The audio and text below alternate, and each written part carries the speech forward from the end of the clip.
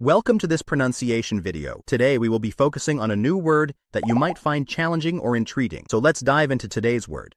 Integrators, which means entities that combine components into a complete functional system. Let's say it all together. Integrators. Integrators. Integrators. One more time.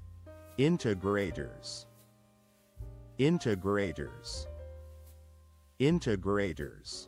Thank you for joining us on this adventure in pronunciation. Remember, language is a journey, not a destination. Keep exploring, experimenting, and expanding your linguistic horizons. We'll see you next time.